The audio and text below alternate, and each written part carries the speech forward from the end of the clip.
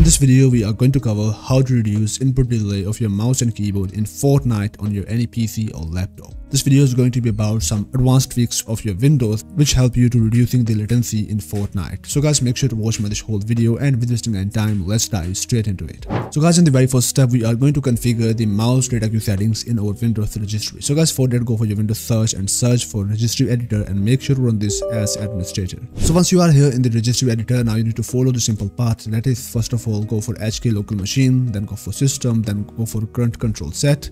After that go for the services settings. Okay by the way you can also copy the same exact path of its location from the description of my this video or simply uh, follow my this path. So guys go into service then scroll down and there you will find out mouclass. So guys select any of these uh, files and press M from your keyboard. It will take you into these M categories and there you will find out the mouclass folder. Now you need to go for the drop down and go for the parameter and there you will find out mouse data queue size. Now right click here, go for modify and you need to change here the settings of the value data uh, from 1E to 30.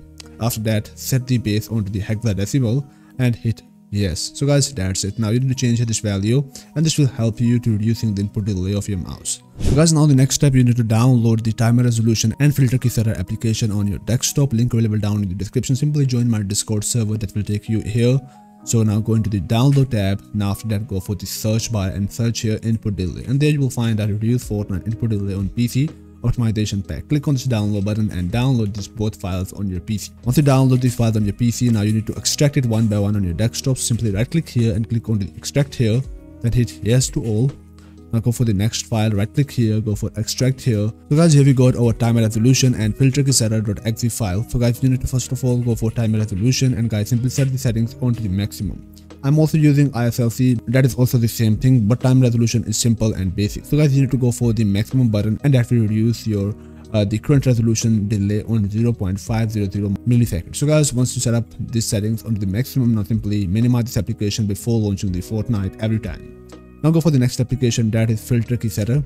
So right click here and make sure to run this as administrator. So guys, once you get this kind of the interface of the filter setters, on the very first step, you need to go for this flag settings and turn on the settings from here, then check mark onto the available and uncheck the use shortcut option. Now uncheck activation sound, uncheck show status and uncheck the key clicks from here. After that, check mark onto the save to registry settings and check mark on this box.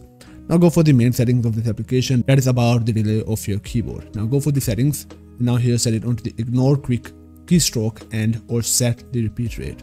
So go for the ignore under and set the settings onto the 0 ms. Go for repeat delay and set it onto the 250 ms. Now go for repeat rate and set it onto the 50 ms. After you have applied the same values into the settings, now you need to go for this OK button. So guys, now the next step we are going to configure some settings in our Windows. So guys, first of all, go for your Windows search and search for keyboard and open up keyboard control panel settings. Now increase the repeat delay and repeat rate onto the short and fast and set the cursor blink rate onto the fast. Now in the next step guys, we are going to clear all the temporary files of our Windows. So guys, simply go for your Windows search and search for temporary and there you will find out delete temporary file go for the settings and there you will find out your local disk. So on the very first step, uncheck the storage box from here.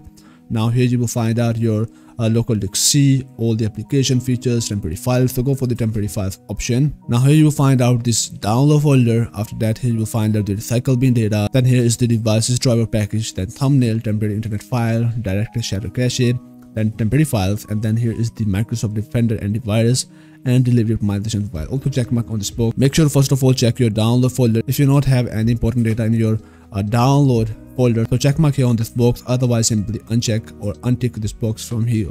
Now here is our recycle bin. Check mark on the recycle bin also for deleting all the deleted data permanently from your PC. Now go for the remove files option and click here and this will start deleting all the files from your recycle bin, your device driver packages, your thumbnail, your temporary internet file, then DirectX shader caches, temporary files and Microsoft Defender and the delivery optimization files.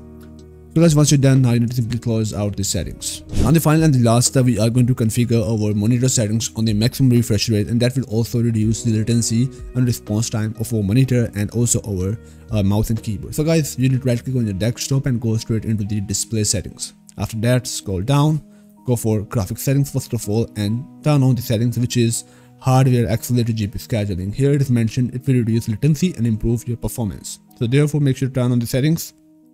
Now go back.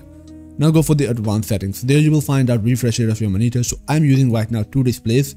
Here is my uh, secondary monitor for the editing and here is my primary monitor for the gaming. So I will go with it. This is 240 Hz monitor. Now you need to go for the refresh rate and set this rate onto the maximum supported by your monitor. So simply select here this refresh rate and apply the settings and close out it and now you need to one time restart your PC there for all the changes take effect. Now launch your Fortnite and enjoy the Fortnite without having any input lag. So guys I hope so you love this video please make sure to drop a like subscribe to my channel and until that the next video peace out.